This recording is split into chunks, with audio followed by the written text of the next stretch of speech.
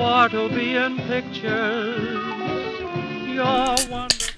I got the wrong side. Ah, Ah, welcome to Talkies. Let us pull back our hoods and talk about Death Wish. Oh, Do we have to? well, if that didn't spoil it. I wore we wore hoods in mourning for the two hours that died today. out of out of the one percent of respect that we can give to Death Wish, which is the hood, That's it. repping the hood. That's it. Mm. As always, today's episode brought to you by Guayaki Yerba Mate, fine purveyors of delicious, energizing drinks made from organic yerba mate. Come to life. Come to life. Caffeine, Today- am I right? Caffeine, am I right? Ah!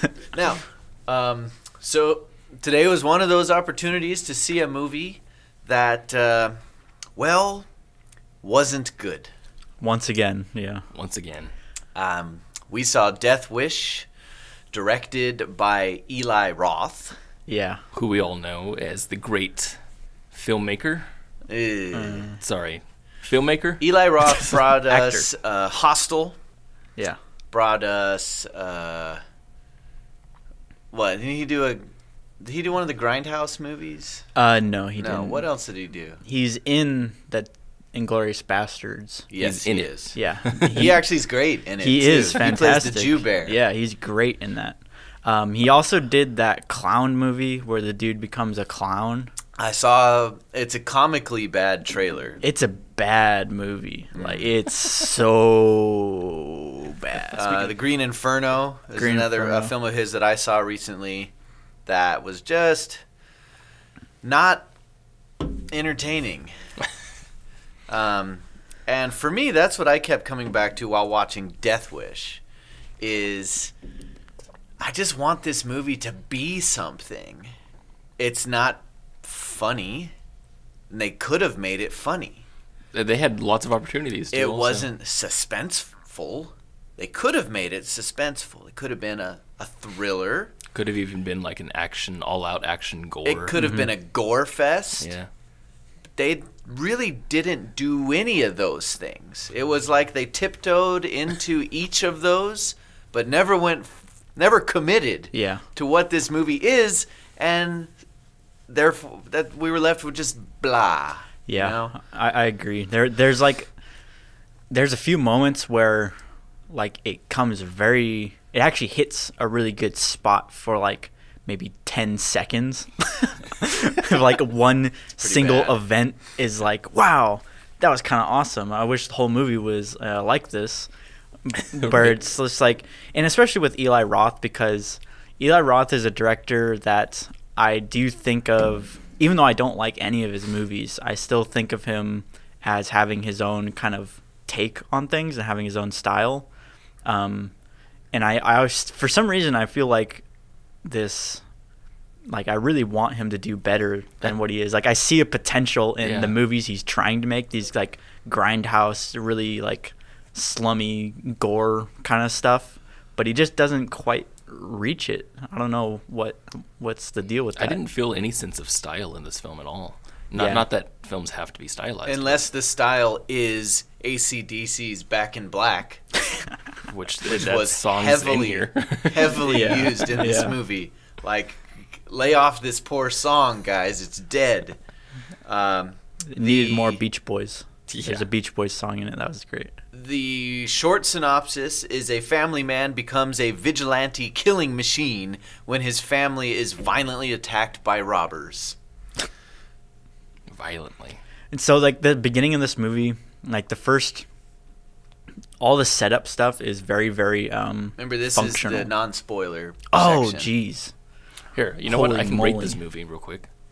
Um, you guys know that scene in Avatar where uh, the robots are fighting at the very end, and then their guns somehow become disengaged or something, and so he pulls out that giant knife. Mm-hmm.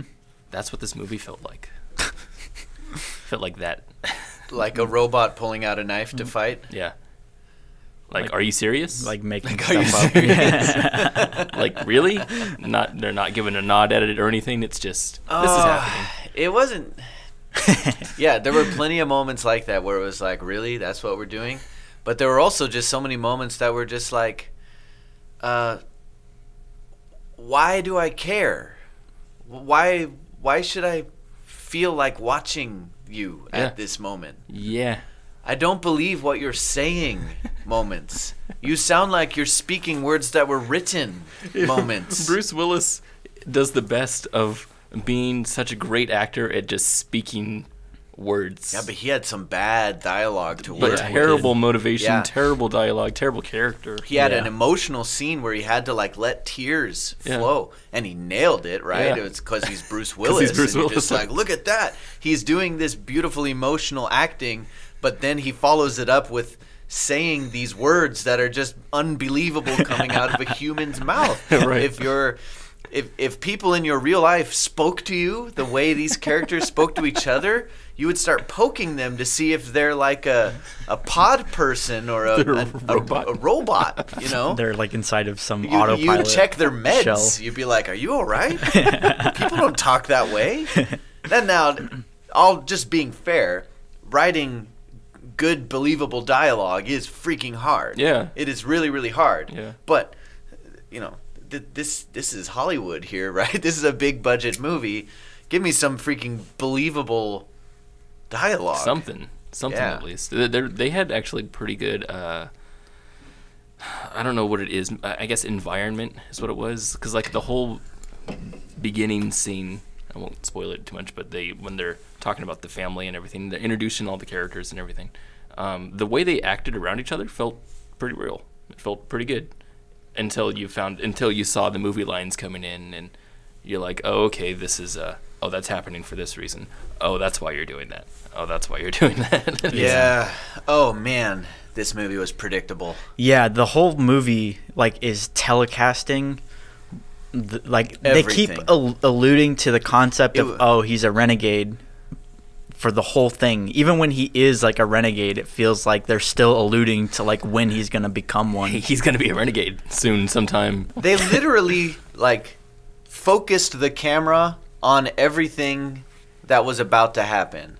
Like if there if, if there was a fight scene and some some object was about to be used in a fight, they would zoom in on it before it was grabbed. Yeah. Like the scene before. So you already know, okay, she's clearly going to whack that person with that pot. Right. Otherwise, why are we staring at it for a few seconds before the fight begins? It was over and over like that. Yeah. yeah, Yeah. yeah. It got it, because of that. It, it got um really tedious a lot of the times, and also it made the movie feel very long. It did. How long is this movie? Because I couldn't give an honest guess. Like I wouldn't be surprised if it was like an hour and a half, The first but it was act, just horribly paced. Well, I do have the It was horribly paced. But dude, you're in a bad movie if you look at the time. that's what I it. I was doing. that. Yeah. I did that uh, because I was curious because I was I felt oh we've just okay we've just finished what was clearly the first act, and I feel like it was 45 minutes long, Right. Which is way too long. um, hour 47. That's how long that movie 40 was. oh yeah, it feels longer than that. It Oh, feels like a felt two and a half two hour hour movie. plus. Yeah. hours, yeah. Jeez, it was a slog. yeah. It was a slog. so uh, what what what I think all of us were hoping for in this film was something that can be really really stupid, but really great at being stupid. Yeah, Yeah, that's exactly know. what I wanted. And uh, there's a few few films that even have the same setup, uh, like Shoot 'Em Up, um, what, Taken. Mhm. You know, have have almost the exact same setup, and or Law Abiding Citizen. Yeah. Like these are all stupid films that are so good at Yeah. being stupid. And Death Wish was not good at being stupid. It No. was bad It- yeah. at just being bad. Well, it was like good at being bad, bad at being good. like what Kenny was saying is they they didn't really commit to one genre. You know, like from from Eli Roth, what I was expecting was I was expecting something that was really over the top violent with lots and lots of bloodshed. That's what and I you was see all for, this yeah. gore, yeah, and Yeah. you and it's just really campy and like tasteless. Right. Yeah. But they were switching between like a detective thing and like a thriller thing and like a suspense. It was thing. almost Yeah. like Eli Roth was trying to be taken more seriously. yeah. That's what was weird. That's That's so- what was weird. It's yeah, like, it's okay, not- it's Eli Roth. This is gonna be some like over the top blood fest. and he's like, no, You know. and he and he picks this film to do that with. yeah, I know. Death Wish. See, I was actually was looking forward to this movie like when it was coming out because I thought Eli Roth and this property was like a match made in heaven. But now I'm starting to think that Eli Roth, I just don't like his movies. Maybe Even that's though I haven't liked all of his other movies. Maybe that's it. Surprise! Yeah. Yeah. Well, I am dying to get into all of the ridiculousness of this film, which would qualify as spoiler content. So, can, can, can we just end the non-spoiler section Let's and end it. and let's just jump to the Move on with our lives. yeah. So let's, Spoilers. so let's just say, uh, I'll, I'll give my two cents before we jump to this the spoiler-filled section. Um, this movie, uh, in my cigarette rating system, is a uh, well, an hour forty-seven. if we go by the seven minutes per pack, supposedly you lose seven minutes of your life for every pack of cigarettes you smoke.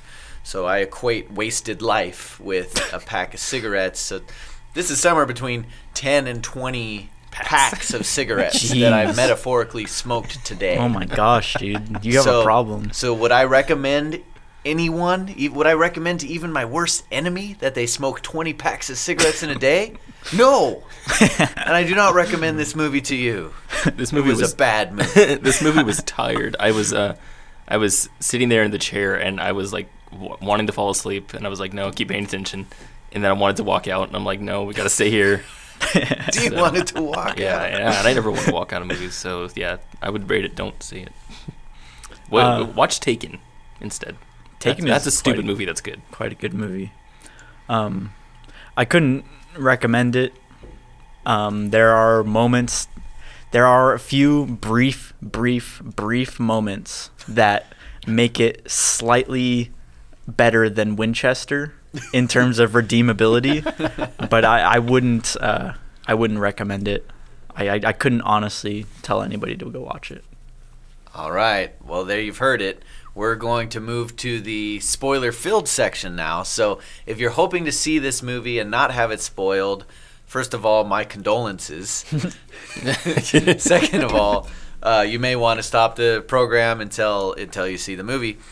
Uh, otherwise, let's jump into it. Spoilers begin in five, four, three, two, one.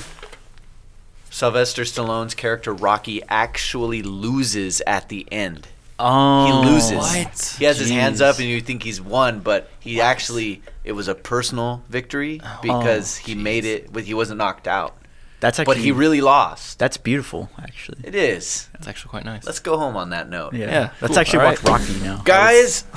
ah, this movie. So, uh, first thing that I hate about movies like this, right? Like you see this, I've seen this so many times now. The so the break-in happens. The whole movie's built around the fact that there's this break-in that ends up with his wife being murdered and his daughter hospitalized and put into a coma. There's no reason that break-in had to turn violent. Yeah, it's Yeah. actually all the daughter's fault. The daughter And did not completely. have to grab a knife and slap. Like the mom even said, "Just do what they say. Let's just just go along with it." And as soon as they showed this like broadcasted close up on the knife, you're like, "Okay, she's You're like, obviously going to grab the knife, Right. and screw this up, and the mom's going to get killed." Uh, but all, all they had to do is just open the safe, give them the stuff, let them leave. Life is fine. But of course, the daughter is is this like super brave hero who fights men with guns with a knife. There's, I- there's I so was- much wrong with this. I was wondering if um, when she woke up from her coma at the end, if Bruce Willis was gonna go up and be like, "You killed your mom. Your actions resulted in your mom's death." I hate it. And like so, first I and I saw that coming. Yep. You know, and I'm like, okay, they're cooperating, and now they've shown me this knife. So I'm like, oh gosh, she's gonna fight back. and then I thought, oh, I see what's gonna happen. The guy's gonna be um, trying to rape her or something, Right. Or trying to abuse her, and it looked like they were going that way. They were, he's- yeah. He's like starting to He's, touch like, getting her. handsy on her, She's yeah. freaking out, but then the other, the other th- thief comes in and stops him. Right. You know. They they And- made these thieves out to be like like honorable thieves that were like, we're not gonna hurt you. Just just do what you want, and do what we are asking, and you'll be fine. And like, hey, no, we're not playing games. To the dude who's kind of acting up. But yeah. but then so like the it's guy is like uh, he's like getting handsy on Yeah. her, and not and not too handsy actually. Mm. He's actually just kind of being creepy about it. Right? yeah, very creepy. And and uh, and then the other guy says stop, and he goes okay. Yeah. And then the daughter attacks them Yeah. while the guard is down, Yeah. and then And, uh, they both get killed. And I, you knew for a full five minutes that one of them was getting boiling water thrown in their face. Which The only question was, whose face was it going to go into? which Yeah. the, the boiling water, she took the pot off of the, the Without Yeah. stove, so it wasn't holder. boiling anymore. Right, but they gave it a good close up. They did, She in the beginning, it off yeah. and she puts it down, and it's like there's obviously a pot of boiling water here. And so there was another, mm, so many stupid things. I want to start from the very beginning, actually. Yeah. Okay. Okay. Um, the opening scene, which had really bad extras in it, When was they're at the hospital. yeah, they're rushing some guy's uh, cop? cop's partner into into care, and like the cops losing it, and the people who are rushing look like they're trying to not bump the camera in front of them. So like the girl's like doing this. she keeps ki- putting herself back. Weird, weird, weird sequence. And then so they Yeah. end with uh, with the guy coming in, or with uh, Bruce Willis coming in, not being able to save the guy, and then the guy's killer is in the same building, and he gets run up, and uh, and then so he goes to the cop, says, "Sorry, your friend's dead," and then he gets called to go save the killer, and I was like, "That's awesome." And then he's he's like, so "Now you're gonna go save him," and he says, "If, if I can," and then they cut, smash cut from there to. Uh, Well, the title. That was they. Right, right, right. Title So, was that supposed to be theming? Because that never ever came back. never paid off. Yeah. Yeah. That's what it kind of felt like. Like, Right. ooh, they're setting something up here. Especially with all the telecasting that they yeah. did And and everywhere it, else. And it felt like, oh, that cop's gonna Right. come into play. He's gonna So come into it- play it later. didn't- It is no no connection whatsoever. Zero. Also, that that cop like so overacted that scene when they when he's rushing his partner in and he's dying. Like he's just going, "Oh God, hang in there, buddy. You can do it. Don't die. Don't die." and another thing is like he's rushing him into like okay, so if the if the partner he was pretty shot up, right? Like because they because he lost a ton of blood and that's why he died, right? Why did he get so shot up and then he puts him inside the car and then drives him as opposed to like I'm guessing an ambulance would have been at the scene at a gunfight. I don't know. Well, why do you need an ambulance if your car already has sirens? I see. That's the only difference. is that si- I'm, eh, yeah, the guy should have waited for an ambulance, which is equipped to patch him up. Anyway, yeah, Stupid. stupid. um, that line you mentioned where he goes, like, "Oh, and you're gonna go save that guy who did this to my partner," and then Bruce Willis is like, "I'll try. That's what I'm planning to do, or I'll do that. If I yeah, can. If I if can. I can, yeah." I was like, "Oh, that's kind of interesting. That's a cool dynamic. That'd be cool for a movie." You're right. it's too bad they didn't do Too bad it's not in this movie. Yeah. It's not this movie, right? yeah. Um, I also love that when it when he started thinking about becoming a uh, vigilante crime fighter.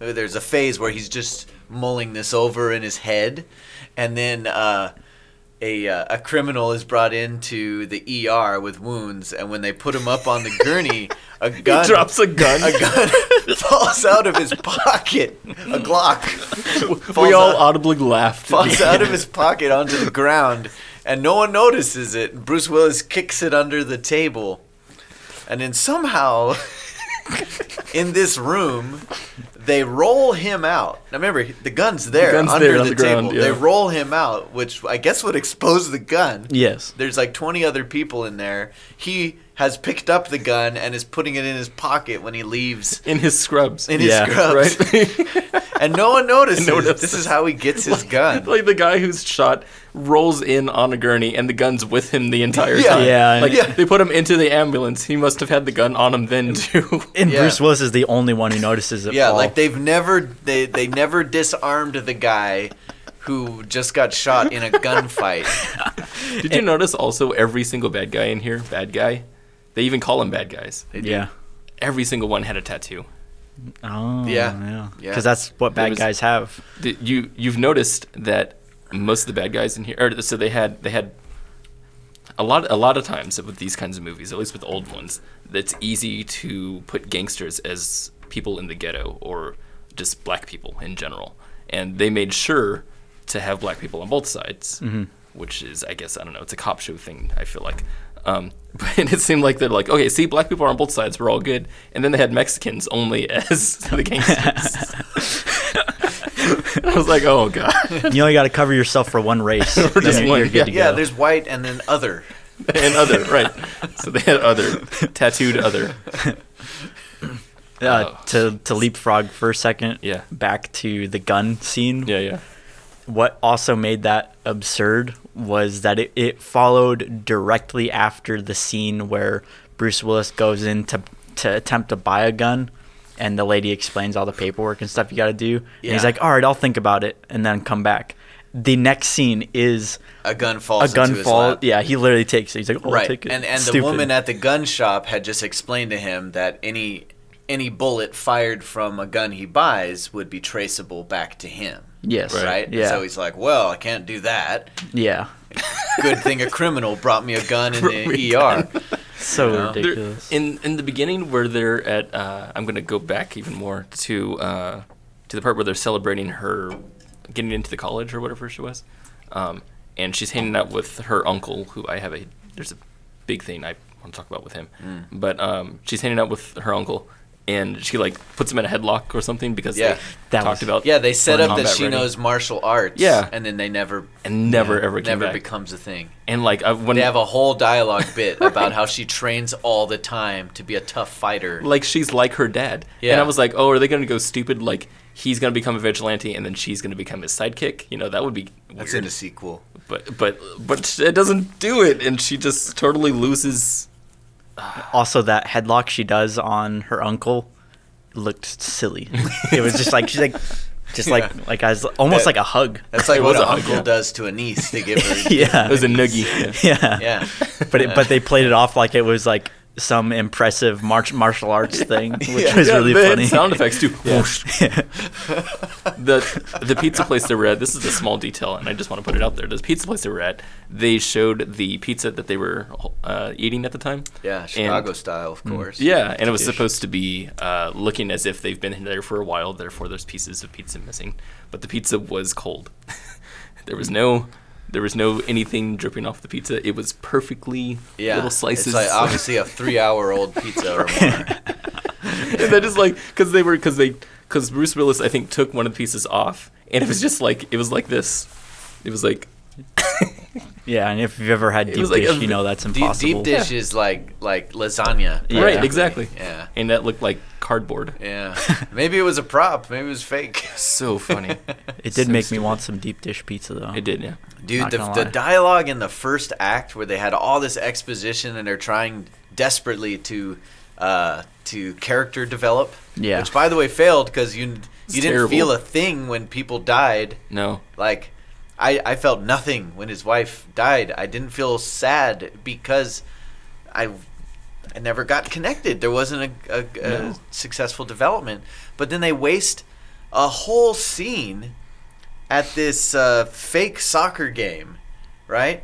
Oh, So- I know. This scene was so weird. I forgot about that. All right, so first of all, supposedly the daughter is like a top level soccer player.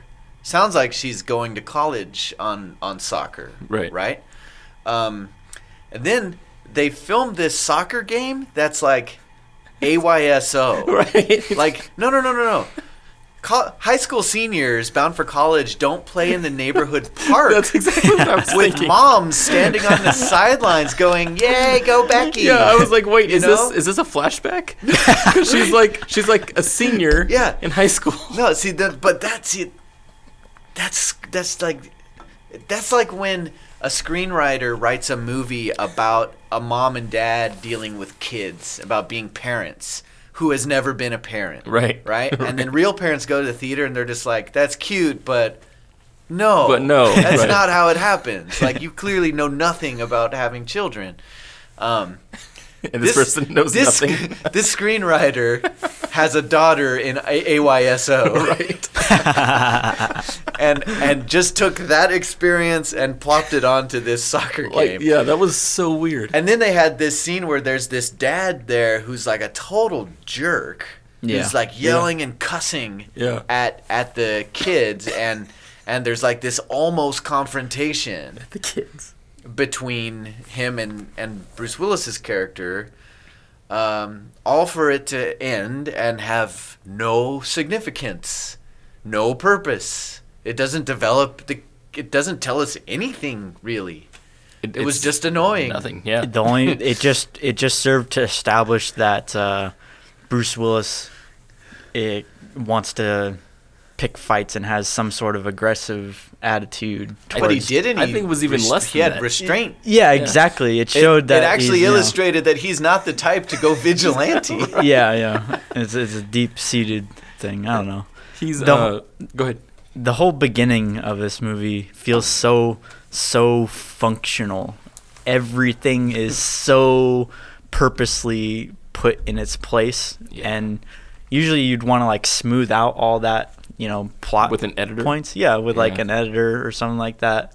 But it's just so rigid. You can see every single detail that they're trying to convey. Yeah, you can almost watch the paragraphs just end and then start the next scene. Where Yeah. was where was he target shooting? like a Where was this back sh- alley and his garage. It was And like he was you in a- couldn't tell. It was like he was in a giant shipping container. Well, right, right. But they never With the established sign. it. He just Yeah. had this place where it's completely dark around him, so you can't tell if he's indoors or outdoors. But there's a road sign Yeah. that he's shooting at.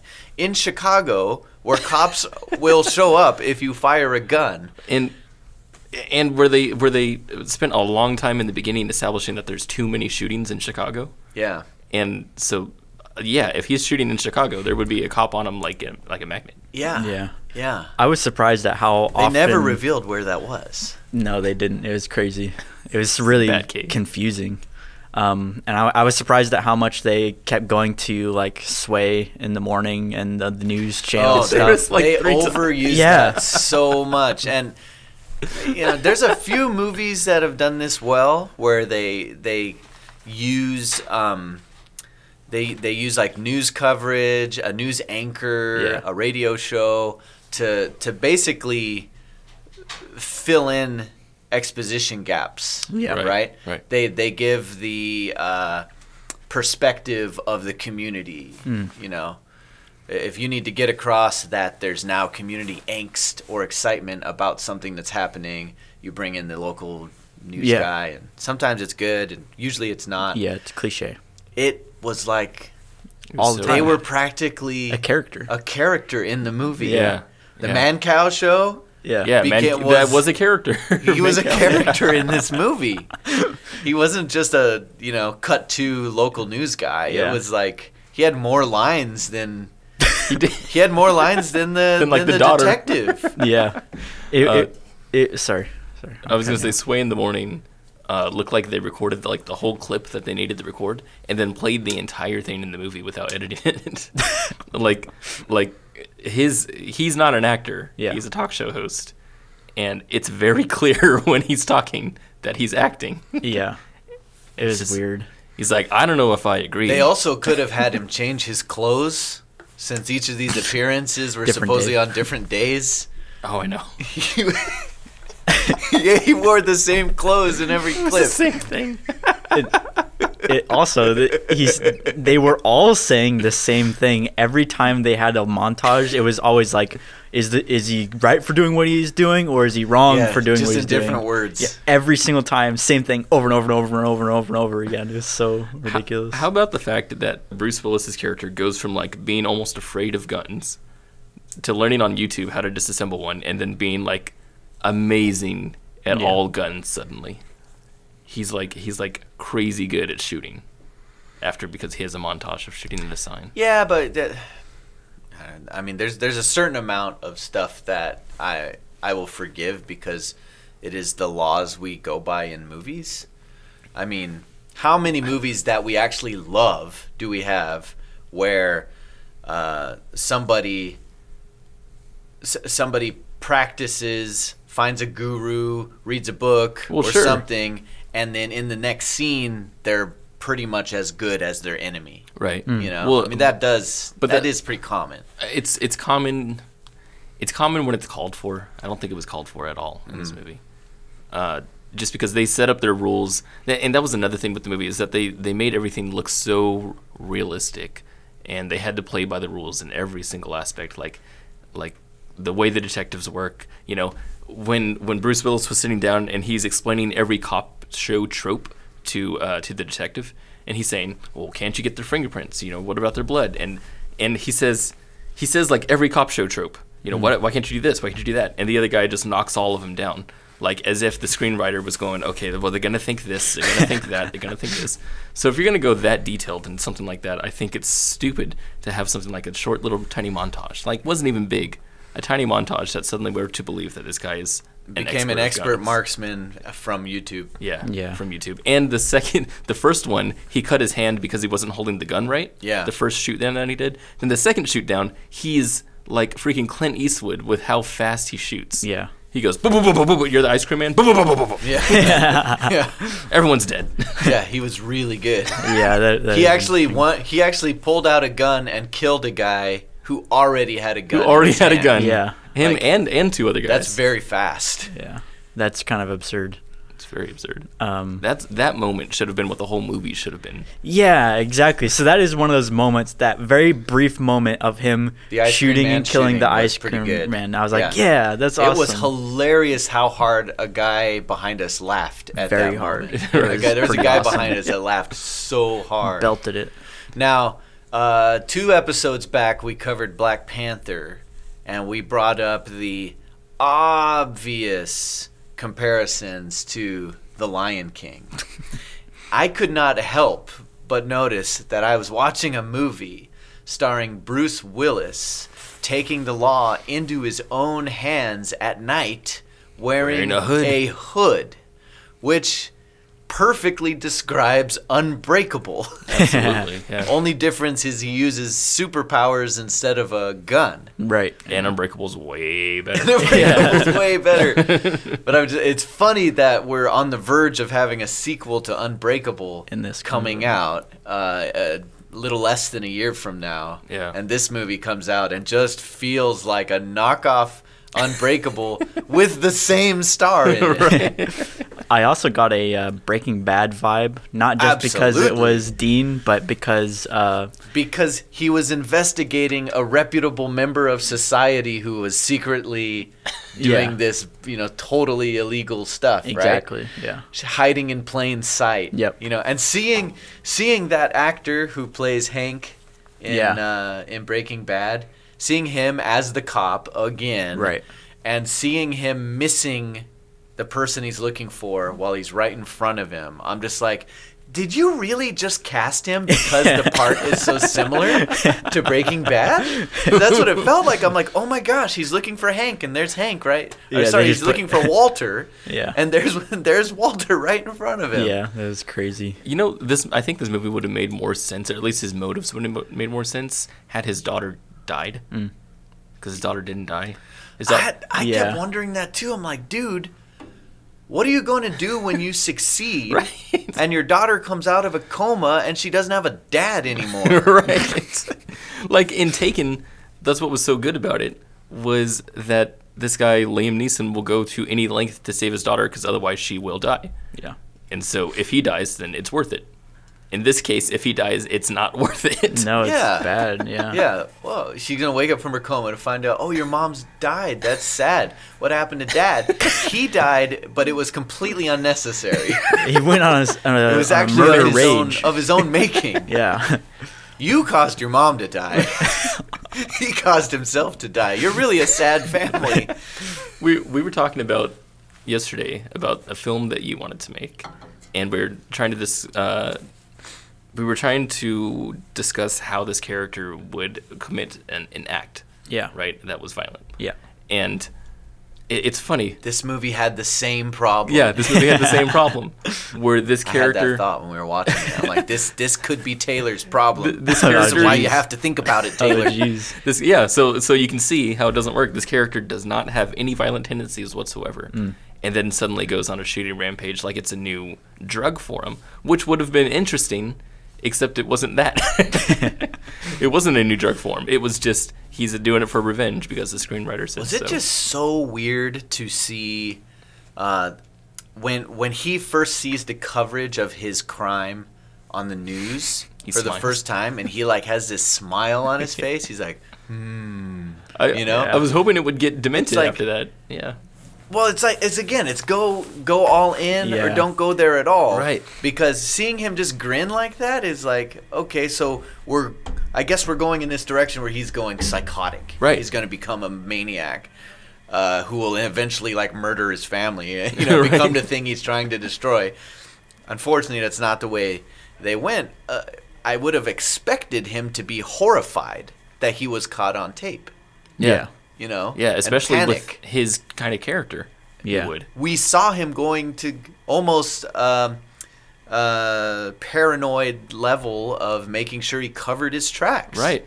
And yet, when he sees that he was caught on tape, he's like, "Ooh, "Oh yeah, a little aroused by this." But the fact that they used the word memes in here and they showed Horrible. three of them that were Yeah, terrible. bad Dude, those memes. memes. One of them said so. They talked about how the footage, uh, the footage that was caught of him uh, during during one of his crimes was being used to make memes, and they put one up on the screen. They put several on the screen, but one of them had a picture of him, you know, shooting his gun, and it said. When your friends reveal Game of Thrones spoilers, Jeez, Like that. That's so bad. Oh man, it's just so out of touch. It It is. is. You can't. You can't do memes yeah, in movies. it's. I mean, there's not a better word to to describe this movie than tone deaf. Yeah. Tone deaf is It's just yeah yeah. It's just, it didn't know it didn't know what it was. yeah. Yeah. This movie was not aware of itself. I really Yeah. wish it was more self-aware because it would have been a lot more fun. yeah. Um, so I had, I had a thing about the uncle. Yeah. Uh, so the uncle's character, I, f- I feel like after watching the movie, I feel like he was rewritten. Um, because he he kept being in these very intimate shots with Bruce Willis's character, where his where it looked like he was supposed to be somebody, like and as someone of importance. I, and I kept thinking, oh, it's gonna be a twist. He's gonna be the bad guy. Yep. Like super telecasted, but whatever. Yes. And it wasn't. Nope. And so He actually was very had very little importance Yeah. to the story. and he was actually the most like the the character that was written most deeply. They kept referencing him. He had Yeah. a backstory. He had a backstory. He had a flaw. You know, he kept he kept actually trying to uh, make himself better. You know, with the whole money thing. Um, so I think, I think that something had to happen between him and Bruce Willis, and I think because of the guy's actions that he at one point was was gay or somehow was supposed to be in a relationship with Bruce Willis. I think. That's what you think was rewritten? I think that's what was rewritten. And I mean, I didn't catch that. no, no. no. So I'm thinking that because there's so many of these of these shots were them two having having aren't they- arguments. I thought they were brothers. well, yeah, like that's I'm thinking it was rewritten that way. Oh, Rewritten you to think be they're brothers. rewritten to be brothers? Yeah, Right, because that's the only other intimate thing that makes sense. You have a theory that they used to be in a relationship. Yeah. I I have Ah. a theory that the screenwriter wrote him as, as in a relationship, Hmm. later on filmed it, later on said this doesn't work, and then changed it to a brother. Because there were there was one sequence That's a where the- crazy theory, dude. That is. That's pretty awesome. There's well, so the so the it would explain why the wife died so easily, why she had zero motivation to do anything in there, um, uh, and it would also explain why he's in here so much. The uncle has no motivation to be in the movie. There's no point for him to be there, and why he cares so much about the daughter, right? Like there's there's no because point it's for their daughter. Oh. well, the, but the ending shot had them two sitting on the couch with the daughter, and, and the uncle is like rubbing her leg, like he's he's very, very very calm now. He's now relaxed that she's back You know, Yeah. and there was no connection that was built that way before. That was kind of an awkward shot too. It was. I don't know about your gay storyline. I like my gay story. I, d- It's I don't. interesting. I don't dislike it. I, I, I just I didn't go there, but I think you're spot on that that uncle character had definitely had a more pivotal role in this story Yeah. that was taken out. Do you Yeah. think he was the mastermind?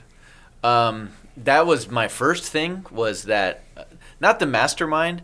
Yeah. I think that because of his tendencies to slip up and get involved in legally questionable things, you know, kind of like uh, I actually thought he was going to be like the guy in Fargo, William H Macy's character in Fargo, who's actually a perfectly yeah. honest guy.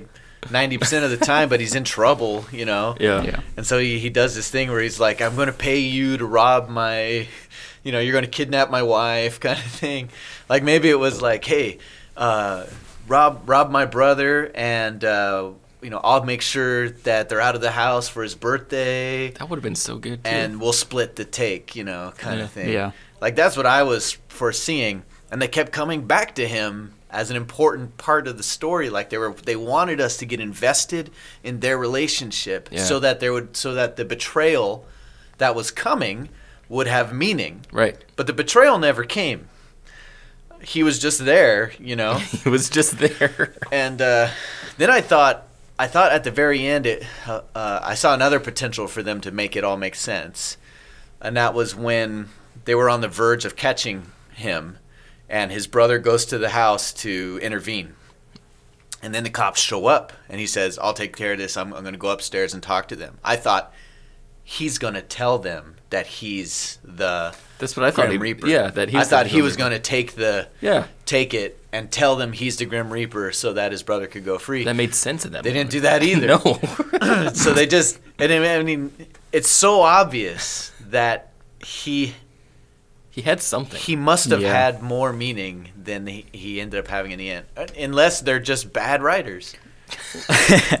well, especially early, early on, I felt like uh, that he was directed to act as if he was a little bit evil. Like there's some badness to him in like in his performance. It felt Yeah. like th- it felt like him and MJ were connected. Yeah. yeah. When, Yeah. When when the valet first came and he's like, "This guy has the money," you know? Right. Yeah. Like if How did that? What was that even?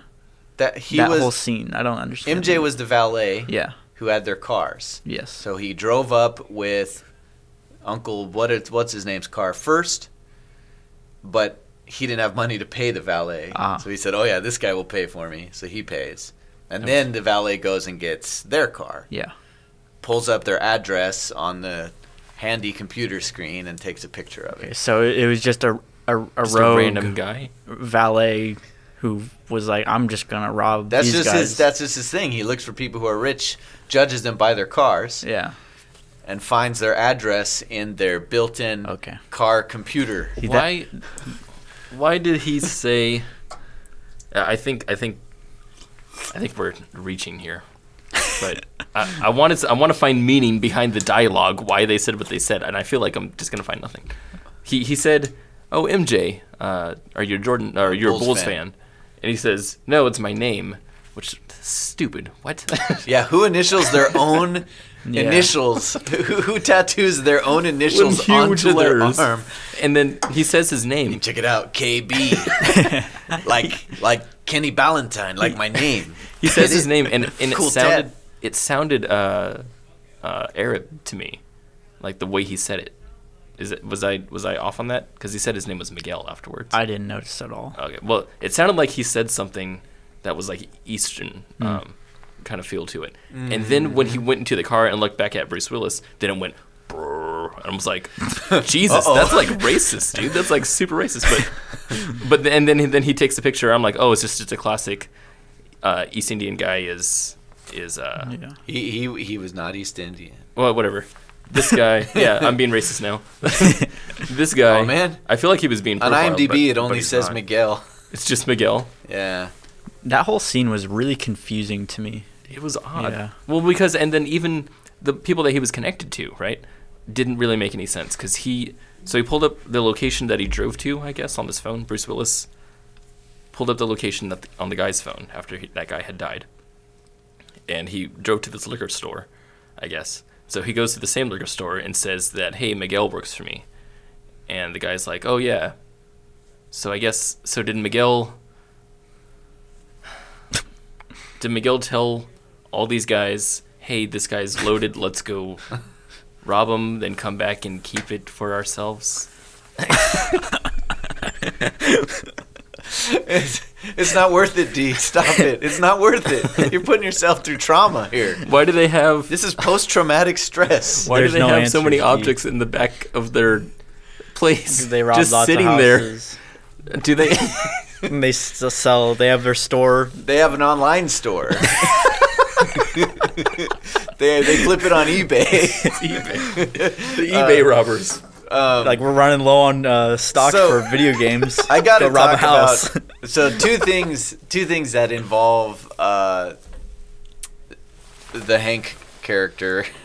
What is that actor's name? Dean, Dean, Norris. Yeah. Always plays a detective. Yeah. Oh, he always plays law enforcement. I like some them in kind. here, by the way. He's, great. I Yeah, like him. great. I do like him. Uh, he's great in Breaking Bad.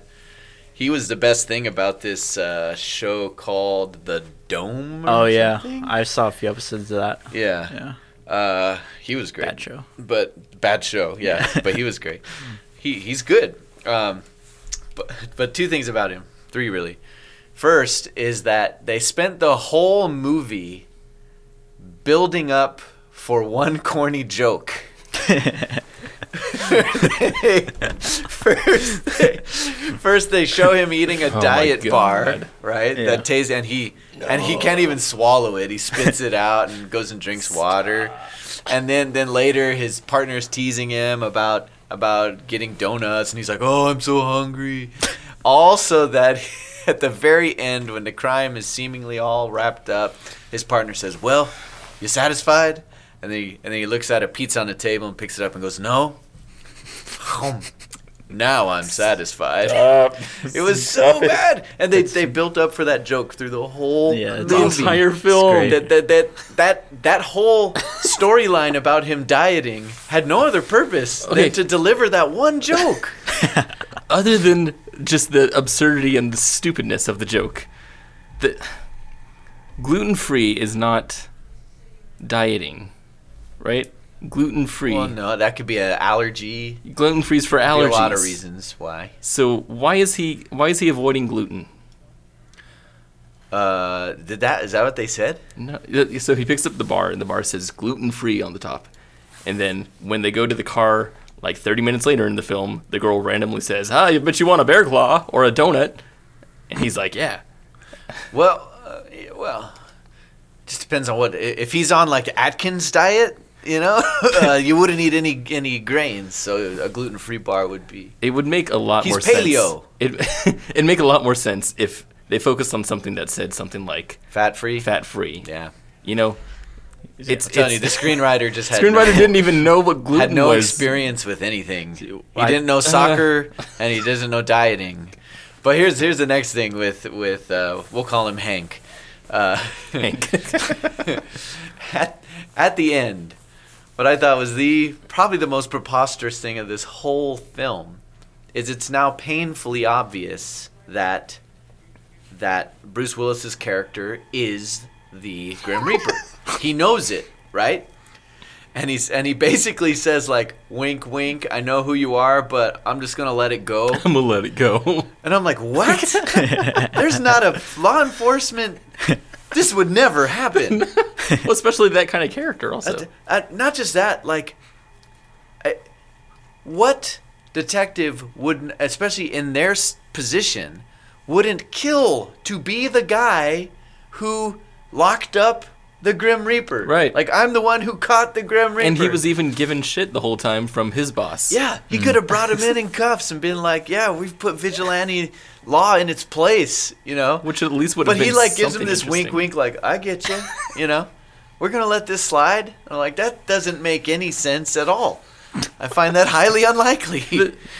Uh. I, I actually I had a little bit of a different interpretation of that scene, but my interpretation actually makes the movie a lot worse than that Oh, even. no. Oh god.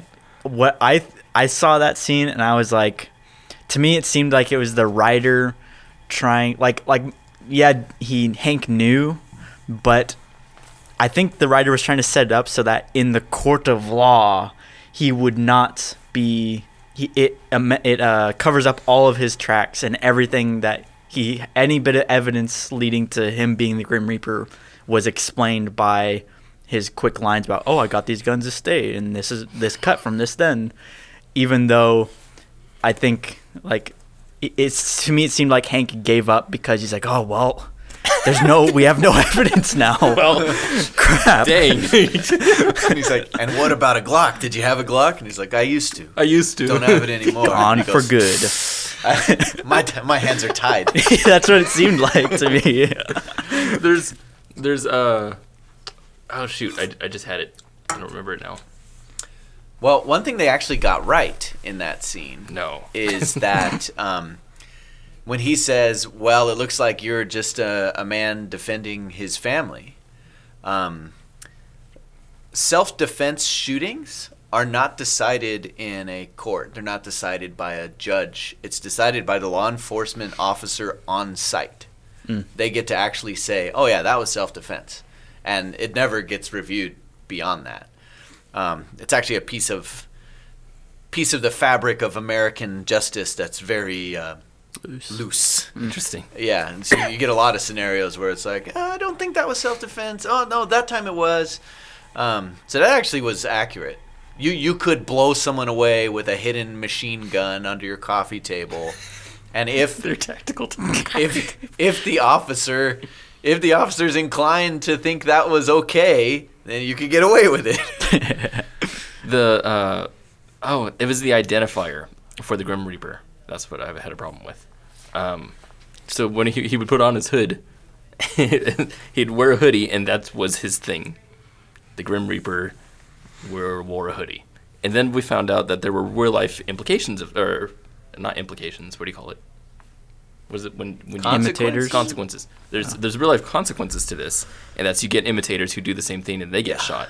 And I'm like, how stupid of a thing is that to have the hoodie as an identifier so that anybody who's wearing a hoodie now can get shot? It's a pretty generic It's a item. pretty generic thing, and I was Yeah. like, that's just kind of reckless. I also thought, why did the police immediately know that this was a copycat and not the actual guy? the actual guy, I don't know. like if I if I'm Bruce Willis, I'm calling the cops and saying, "You got him. That, Right. That is That's the Grim. Reaper. Nicely done. Case closed." The grim, the real Grim Reaper has a style, a signature. except he didn't. Yeah, I, I like yeah, also sloppy. they how campy they went with like the gun store, Yeah. which I loved. That I was loved the best that part of the cool. movie. Yeah. Yeah, so Was like when they had the little store. ad or the YouTube video or whatever, that was funny. it was like super weird. And then like everyone in the theater laughed when the, we saw the tactical piece of furniture yeah, where the popped Yeah. out surprise bad Yeah. guys, and then he actually did it in the Yeah. film. that was awesome. I was like, that's hilarious. Yeah. If only the whole film was like Yeah. that. I Why did that moment have like no impact? Like there it- was zero build up for it, and there like was zero. like the bad guy standing there again already has a gun in his hands Right. and can't shoot Bruce Willis before he pulls a freaking machine gun out of a coffee table. Uh, never and he mind. has to make a speech too after he shoots him once. never mind that.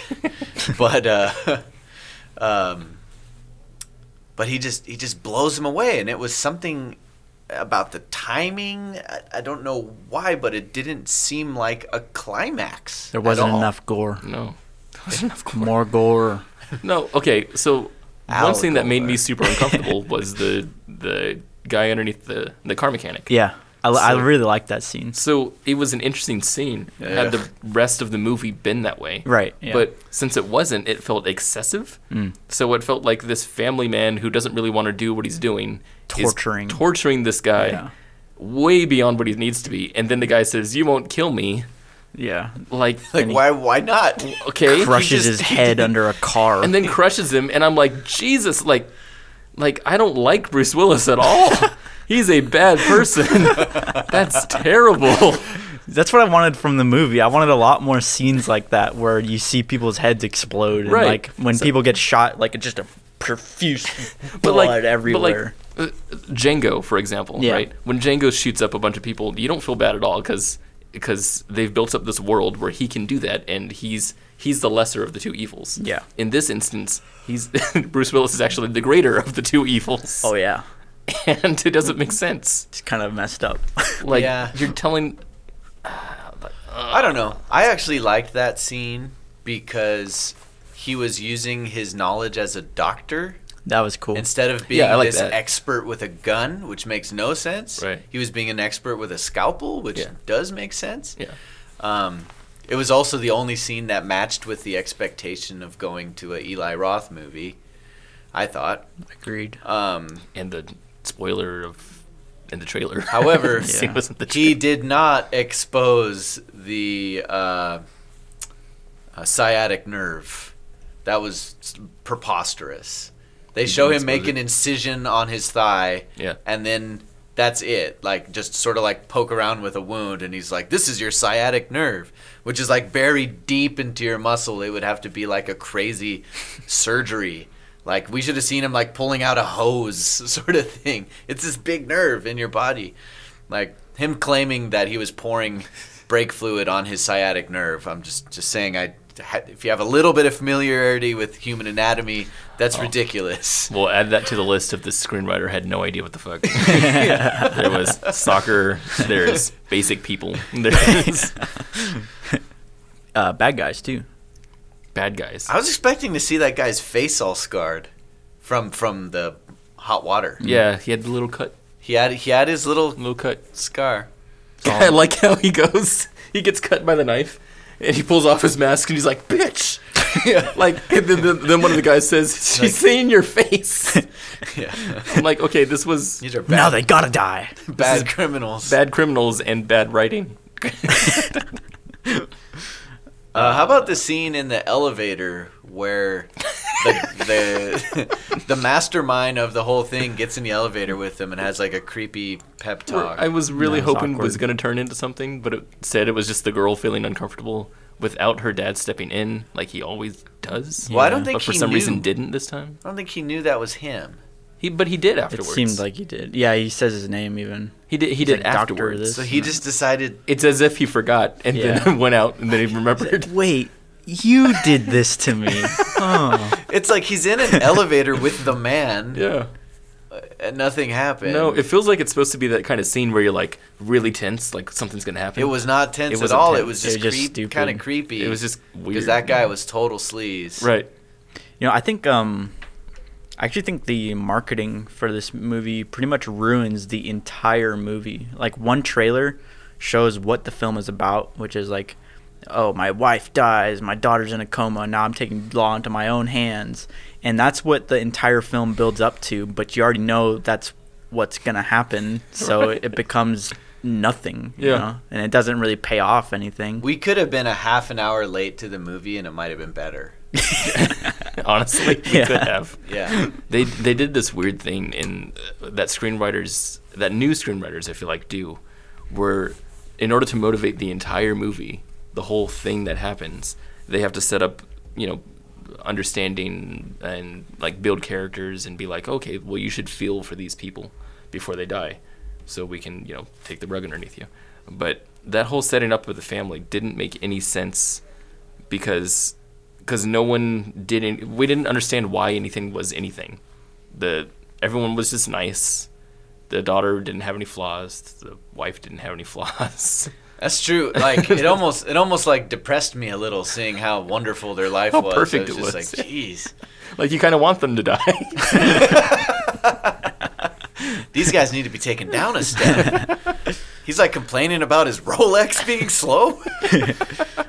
well, especially knowing Rough life, man. rough you know they're they're gonna die the whole time. You know that they're and gonna know die. they're gonna die too So knowing that, it just feels like they're just like flaunting all this stuff at you. It makes it even more transparent, is what it does. Yeah, it's unfortunate. Bruce Willis tried. You got to Sure. give him that. He tried. There He were a few really scenes well. where he really put his all into it. Yeah. The the bit in the basement where his, he's confronted by his brother. which was like real like robotic. I felt like well, no, I felt like he got super emotional when did. he he did. when he gives him the like like who else is gonna do this? You know, it's got to be me kind of thing. Yeah. I was like, dude, It felt robotic because just before that he was a completely different person. Yeah. And then he comes in here and then now he's suddenly angry and like sad and it's funny. yeah. And they also had a, this thing. it- There's there's rules in in storytelling, right? There's rules that matter, and when you break those rules, it has to be to for the for the purpose of breaking the rule, right? Yeah, exactly. Like you only break the rule to show, look, I did something different. Um, but one of those rules is is like if you set if you set a law, and then the law gets broken, there's a consequence. And in in the final sequence of the movie, he sticks his daughter in this little cubby under the stairs and scoots a dresser against it and says, "Under no circumstances do you come out of this." And then she's, you know, after she hears all this commotion, it's making her cry and scream, and she, he he walks by and says, "I'm still okay. Don't worry. Stay in there." Second time he said it. Then he's down in the basement. He gets shot, and he's she knows it, and she's screaming, and he yells up, "Stay where you are!" And then she comes out, And, there's no consequence. he blows the guy away. It doesn't matter. But Yeah. but we see her defy the the demand, the three time demand to Yeah. stay in there. She comes out. She goes against that, which means either she should have to pay for for coming out. She gets hurt or something like that. She messes up the plan, or because she had the bravery to come out, she saves dad or Right. something like that, right? Right. Right. But instead, the law was broken without any Yeah, no reason, to break the Not law. any reason, right? Yeah. And I feel like that's what the whole The whole was. movie was Yeah. that way. Yeah. Yeah. They just Things that were set up and never delivered. never delivered. Yeah. Yeah, yeah. These were pizzas that were put in the oven, but no one turned it on. That's it. They, they got out the crust, they put on the, the sauce and the cheese. Not the expensive stuff. This is like the, the Costco brand on a frozen pizza crust, but they made it. They put it in the oven, but they never turned the thing on. Mm. They never turned it on. It just sat in that oven cold. Uncooked pizza. Can you imagine eating that? It sounds terrible. just dough. Just dough and and sauce. sauce. Dough and Gross. cold You're just like, what is And it's this? cold. And other people are like, "That's pizza," and you're like, "This is not Not pizza." exactly. pizza. People are telling you this is a pizza. The pizza is telling you it's a fact- pizza. In fact, you even paid for pizza, and, you this start is what eating you're it. Given. That's the problem with this movie. Do you understand? That's exactly what this is. This movie's an uncooked pizza. And if you watched the movie, then you ate the You uncooked ate the uncooked pizza. Yeah, Which is why we all get- walked out just kind of going Kinda like, stomach "Ugh, aches." I'm really not hungry anymore, but I would like to eat something else. And you have to tell it to somebody. Yeah. You really want to talk about it. Yeah. This was a gross pizza. It wasn't even cooked. Uh, oddly enough, most of our screenings we go to, we always go on a Friday and we go in the morning. Uh, so it's matinees. Typically, they're the, the first showing too. Yeah, first showing of the First day. showing. Usually it's us and like five other people Yeah. in the movie theater, and this place was packed. Yeah. It was packed. It was full. People came There out was to see this movie. There were people in the uh, like we had to get second row behind yeah, the screen. we were close to the screen. and there was people there in the B row. Yeah, that was weird. Yeah. Um, so I don't know. And people were having a good time watching the movie, laughing, having fun. well, they were laughing and having fun. Probably not for the reasons uh, uh, Eli Roth would want. Maybe not. If, yeah, if don't people like uncooked pizza, that's fine. you can like uncooked pizza if you want. Sure. I, I prefer I prefer cooked pizza. I agree. I expect cooked pizza. you prefer good pizza. You know? That's the problem here. Like at least if it's I cooked. if I leave a movie and it was just the equivalent of a cooked pizza, I go, eh, it wasn't that good. Right? It's just another movie. Just another mo- just another pizza. what you want is like an exceptional piece of freaking pizza. And this wasn't even This wasn't even cooked. cooked. There's an oven somewhere. It's unplugged. It's disconnected from the gas. You, uh, just- you know what it was actually? The co- the pizza was not cooked, and the cook took it out of the oven, an, an un um, preheated oven because it's uncooked. Yeah. Then he took it out, and then he took a blowtorch, and he just did. He burnt one spot. He just burnt one spot. He just focused all the heat into one place. Yeah. And you Which- say that that part was pretty good, yeah, but the rest of it. and that scene that or the sorry not the scene the the piece that was burnt by the blowtorch was the uh the uh, car scene where the dude gets his head blown You're like, up. could the whole pizza be like that, please? yeah. it's gone too far the analogy i think it's broken this is great. It's a good analogy. it is yeah it is Yeah. quite good That works. yeah. Anyway, I've about run out of things to say about the Death Wish, other than I, I- I'll give it one positive thing. Here's my positive thing to say about Death Wish. It has the perfect name. This movie has the perfect title because you wish to be dead while you watch this movie, or you wish the movie dies, you wish the main character dies. someone's gotta die Death. You're wishing for death. Yeah, there are death wishes happening throughout this movie, so it is aptly named. Uh, not really worth your time or money, in my humble opinion. Uh, I can't recommend you watch this at all. I think it's actually very good for script study. If you wanted to Oh. know what not to write, um, this is a really good script to study and show how it's not. It doesn't deliver. Our condolences to the screenwriter of this film. That's about the worst insult you could ever be given. uh, I again, I, I also would not recommend it. Um, I did really enjoy the cumulative 45 seconds that was delivered that met my expectations, but the rest of the hour and 49 minutes were just not interesting and kind of boring. Yeah, actually, A lot of it was boring. yeah. So don't see it. Uh, hey, there was a ricochet moment. You know when he when he shot at the sign and the bullet ricocheted and he was like, oh, and so he's like, you shouldn't shoot there, then he continues. It also looked like he got shot there too, because like you could see the it bounced behind him. There was a reflection before he dodged out of the way, so he technically should be dead. Actually, there you go. Why are we still talking about this movie? I tried Have to you guys wrap seen it Bright? up. I Let's talk about Bright. I tried to wrap it up. Come on, let's let's let's land the and there was plane that one thing I actually liked the ending quite a bit of Bright. of Death Wish. that adds about four seconds. I onto my actually really enjoyed when this movie seconds. ended. That was nice. You do you enjoy when it ended? Yeah, so I could get up. How about that? The most cringe-worthy moment of the trailer was, in fact, the last shot of the film, and that's when he does his finger gun. Yeah, at Where he shoots at a kid. yeah, who's who's trying to steal a purse or something. He's like, Haha, He's like, death, "Hey, murder. Am I right? See, I I like that actually. Again, that's part of the four seconds in my forty-five seconds. I you're liked. entitled to that. You can like stupid things. Yeah. Frozen pepperonis, whatever. Yeah, whatever. You can go chew on frozen meat if you like. I like frozen pepperonis actually. the cold pepperoni is really good. Uh huh. anyway, guys, uh, I hope that listening or watching this episode of Talkies wasn't nearly as painful as it was to sit through Death Wish. Uh, you can find more from the three of us at Karman Line Studios on YouTube. Please check us out and subscribe. Yeah, Have yes, a lot sir. of really cool content coming up every single week. And uh, we're also on Facebook, Twitter, Instagram, all the usual suspects. Find us, like, subscribe, share, all that kind of stuff. Smash that like button. Smash that like button. Yeah.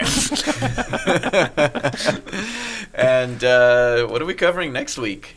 Uh, Is it a wrinkle we? in time yet? Oh, thoroughbreds. Is that next week? Really?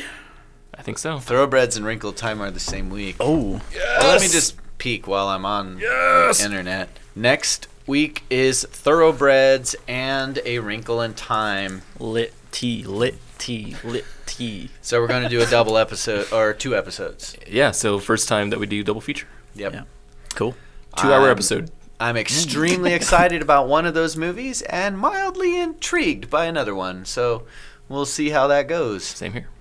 All right, guys, it's been fun. But until next time, I'm Kenny. I'm D. I'm Taylor. And we will see you at the talkies. Sorry. ding ding. My arm is You ought to be in pictures. You're wonderful to see. You ought to be in pictures. Oh, what a hit you will be. Your voice would thrill a nation. Your face would be adored.